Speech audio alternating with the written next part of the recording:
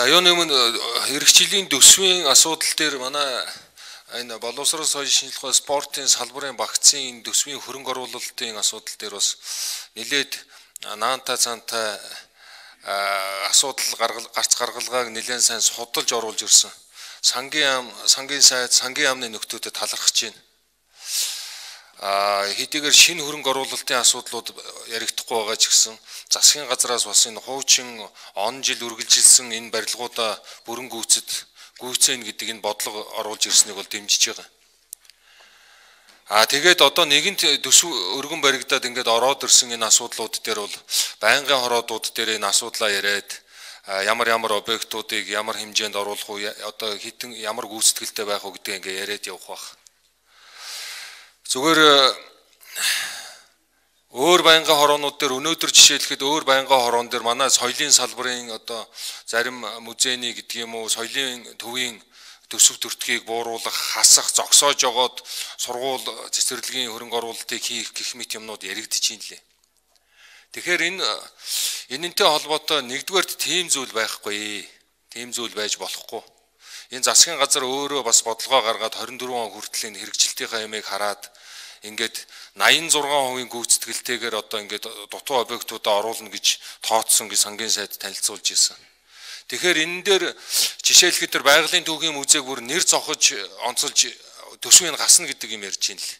Ийм зүйл байж болохгүй. Энийг өнөөдөр Монгол улсын ерөнхийлөгч тухайн үед ерөнхий сайдаар ажиллаж байхдаа хөрс ерөнхий сайд санаачилж соёлын том бүтээн байгуулалтын дөрвөн том ажлыг эхлүүлж ирсэн. Энийг бол одоо энэ энэ засгийн газар гүйцээх ёстой.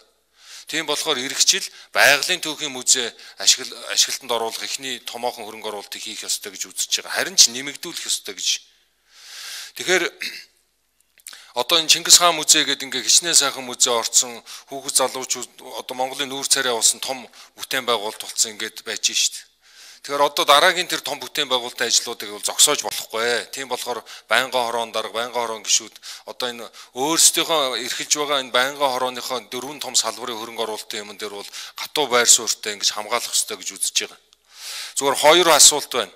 Соёлын салбар дээр, спортын салбар дээр энэ дуусаагүй барилга объектуудыг одоо энэ жил одоо энэ төсөв тавьсан хөрөнгө оруулалтаараа ингээд явхад эргэжил хэдэн хувьд хүртэл одоо ингээ ашиглалтанд орох вэ гэдэг ийм тоо судалгаа байна уу?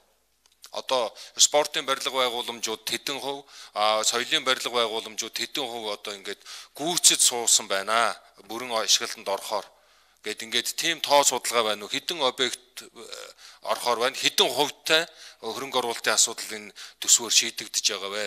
Сангийн сайд бол одоо улсын хэмжээнд бүх салбараар нь ярьсан бах 86 хувьтай ингээд бүрэн одоо яана гэж. Дараагийнх нь энэ зураг төсвийн мөнгө сангийн сайтын багц дээр байгаа. Энэ зураг төсвийн мөнгнөөс одоо энэ биеийн тамир спортын төв ордны одоо шинжлэх энэ томоохон бүтээн байгуулалтын ажил эхлүүлмээр байгаа байхгүй юу? Тэгэхээр энэн дээр одоо зураг төсвийнх нь мөнгө гэдэг юм уу? За энэ э, соёлын э, салбарын спортын байгууламжууд ингээд энэ зураг төсвийн мөнгнүүдийг салбарын сайдуудад нь тодорхой эрхийн өхөө одоо энэ сайд болгон дээр тодорхой зураг төсвийн мөнгө тавьж байгаа гэж ойлгож байгаа.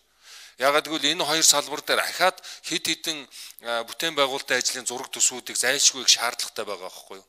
Тэгэхээр энэн дээр одоо ямар зарчим барих вэ? Сангийн сайд энэ юу зураг төсвийн мөнгөн дээр засгийн газар дээр ярих юм уу? Сайдууд нь ирэх юм уу? Сангийн яамн дээр явах юм уу? Ийм асуулт байна. За ийм зураг төсөл ингэж явах юм аа.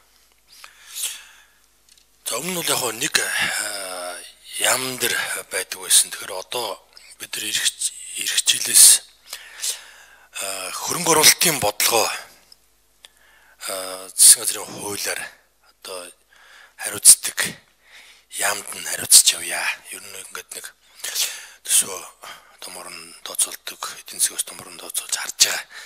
Эдийн засгийн хөгжлийн яам, сангийн яам гэдэг ингээд хоорондоо нэгт ажиллаад энийг хариуцсан явъя гэдэг дээр байгаа юм. Тэгэхээр ингэхийн ямар зарчмаар явах вэ гэхээр эх хонуудад одоо жишээ нь спортын сайд бол эх оны одоо зур төсөв дээр манайх одоо таны саяны хилдэг энэ спортын төв ордныг шинжилнэ нураана эсвэл одоо шинээр одоо сайжруулна ч гэдэм үү. Энийг саналаа бол ирүүлнэ. Саналаа ирүүлээд за тэр нь дунд хугацааны хөгжлийн бодлогын хуулинд бас ерөнхий агуулгаараа орсон байх ёстой Тэрнээс гадуур бол явахгүй. Тэгэхээр тэн дээрээс ороод за зураг нь хийгдээд тэгээд шууд дараа жилийнхаа төсөвдөр хөрөнгө оруулалт болоод суугаад явах хэрэгтэй. Яг ингэж л явна. Тэгэхгүй өмнө ингээд төсвийн мөнгөөр хийгдсэн зур төсөл нь хийгдсэн. Тэгээд яг төсвийн хөрөнгө оруулалтын бодлого бол цаашаага явдаггүй. Ийм зүйлүүд маш ихээр байгаа юм. Маш ихээр байгаа. За тэгээд энэ зур төсвийг одоо зөвхөн төсвийн бодлогын хүрээнд хийдэггүй. За гадуур одоо ингээд төсвийн бүр шууд захирагчийн төвшөнд одоо хувийн компаниар илгэсэн ч байх жишээтэй. Тэгээ иймэрхүү байдлаар цаашаа явахгүй ингээд яг нэгдсэн төвдөрсөн байдлаар ингээ явна. А яг худалдаа ажиллагааг нь бол ямдууд нь өөрсдөө хийнэ. Спортын яамнаас санал ирлээ. Окей болсон маань бодлого төлөлтийн хуулинд орсон байна. А төсвөр техник иймэрхүү нэгээд тэрийг нь одоо ямар юм шилжүүлж чинь яам нь өөрөө худалдаа ажиллагаагаа хийнэ. А болж өгвөл 6 сарын 1-ээс өмнө зураг гаргацсан энэ төсөв мөнгө нь гарцсан. Тэгээд дараа жилийнхаа төсөв рүү одоо 6 сараас эхлээд системд ороод явах хэрэгтэй юм байна. Тэгээ ингэжээч яг нөө хөгжлийн хөрөнгө оруулалтын бодлого маань өөрөө дундаа тасалдахгүй жил алдахгүй ингээ явах учиртай юм байна. За саяын тоонуудыг яг явуулсаад хэлгүй би хэлчихв. Тэгээд ийм байна.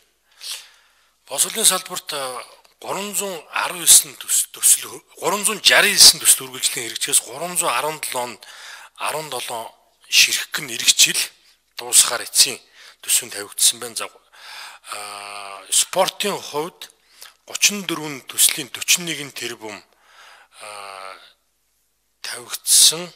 За 34 төсөл арга хэмжээс 30 нь эх хонд дуусахаар ингэж тавигдсан байна. За соёлын салбарт 75 төслөөс 65 нь эх хонд дуусахаар ингэж тавигдсан байна. Уг нь хувлаад гарах байж таа. Манайхан. За ер нь тэгээд нийт хөрөнгө оруулалтын хамгийн өндөр дүн боловсрол шинжилгээ ухааны салбар буюу 507 тэрбум төгрөгийн ийм санхүүжилттэй байгаа шүү.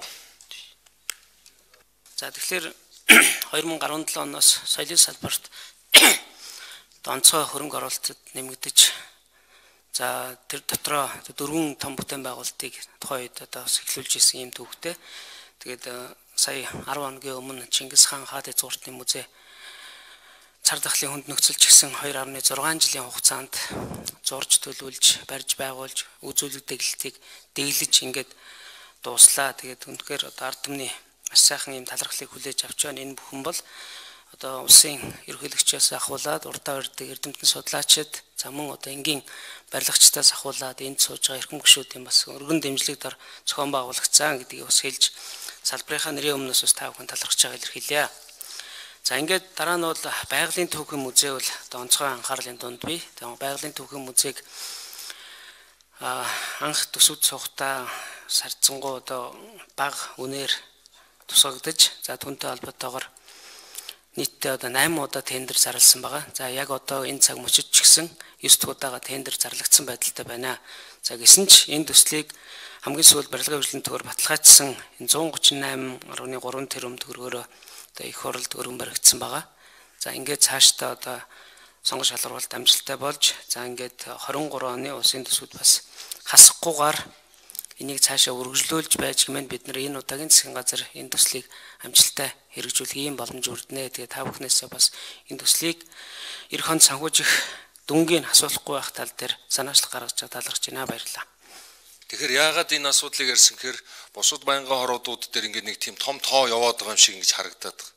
Наад 40 хэдэн мянган метр квадраттай үндэсний хэмжээний том музейн дээр метр квадрат нь 2 сая хүрэхгүй төгрөгний ийм төсөв тавьчаад тэгээд тэрүүгээрээ ингээд явуулах гэж үзсээр байгаа цаг хугацаа алдчихж байгаа юм л.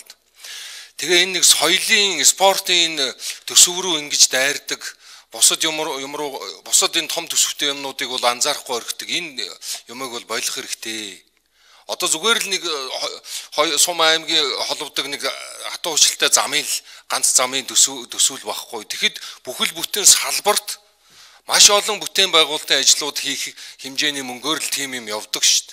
Тэгээ ингээд нэг соёл спорт хоёрыг л гадуурхал баг энэ хоёргүйгээр амьдр чинь одоо болохоо байлаа гэдэг ийм юм яриад байдгийг бол болох хэрэгтэй гэж энэ ийм юм ярьсан гişүүдэд хаяа гэж хэлээ.